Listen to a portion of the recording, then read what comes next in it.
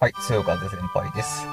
今日は、えっ、と、この FD のアイドリング調整をしていきたいと思います。えっ、と、今、1年と半分ぐらいかなぐらい乗ってきたんですけど、えっ、とね、時期が変わる時要はあの、急に冷える時期、急に暑くなる時期になると、どうしてもアイドリングが悪くなるんですよ。なんで、それを調整します。ちょうど、えー今時期今冷えてきてますんでね、えー回転数が500、600ぐらいになったりとかするんで、まあ、それを今回ちょっと調整していきたいと思います。はい、アイドリングに必要な道具が、まず1個が、まあなんかよく電源でよく取る線が1個と、こちらのマイナスドライバーですね、が、の2点だけです。はい。アイドリング調整方法なんですが、まずエンジンかけます。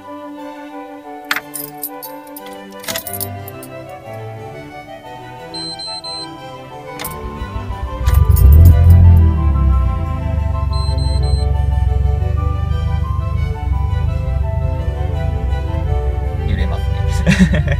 はい、エンジンをかけて、で、えーっと、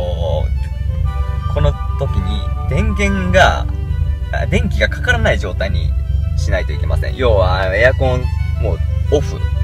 で、えーっと、この、ね、熱線？熱線？電熱線の分も切切った状態。そうもう一とかね、一応。中感じかなで切った状態でこれからつなぎますつなぐんですがはいちょっとメモしました。こんな感じですね。はい。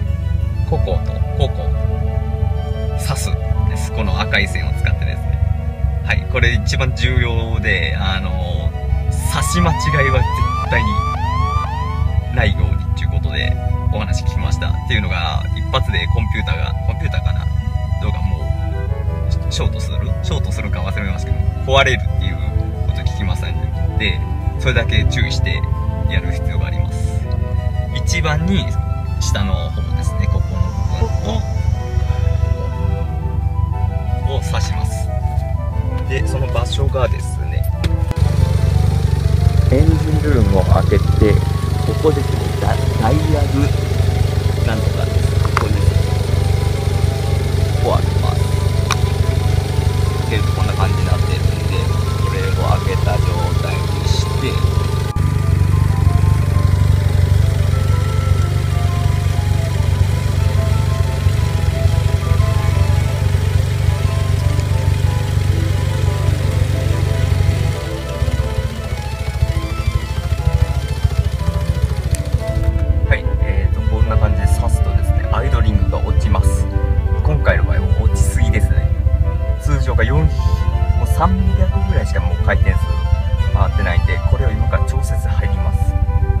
この状態でやっと調節入ります。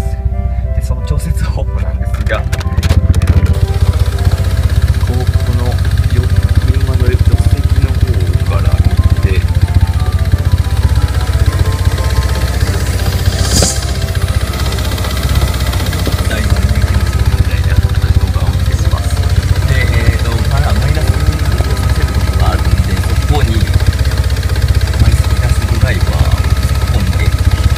左回しにします。それで回転数が上がるんで、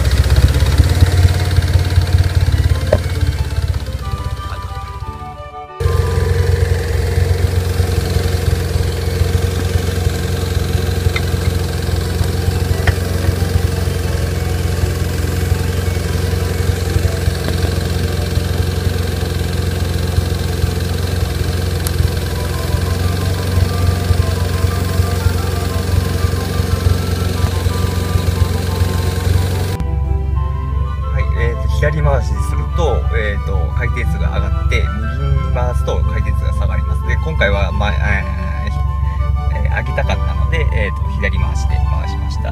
で、えーと、ここで注意してほしいのが、700から750の間の回転数で回すように、合わせるようにしてください。っていう風に書いてます。はい、じゃあ、終わったらですねさっきの赤いコートを順番に抜いていきます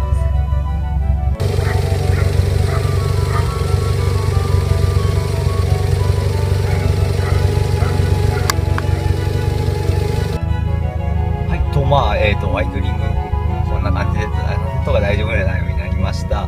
えっ、ー、と1点注意1点が11点ごめんなさい。マイナスドライバーの方はえっ、ー、と長いマイナスドライバーでは入りません。でかつしかもジョイントされてない方がいいと思います。うんされてたらですね届かないんですよ。手前で引っかかって回せなくなっちゃうっていう感じ。でも、えー、で次がね注意点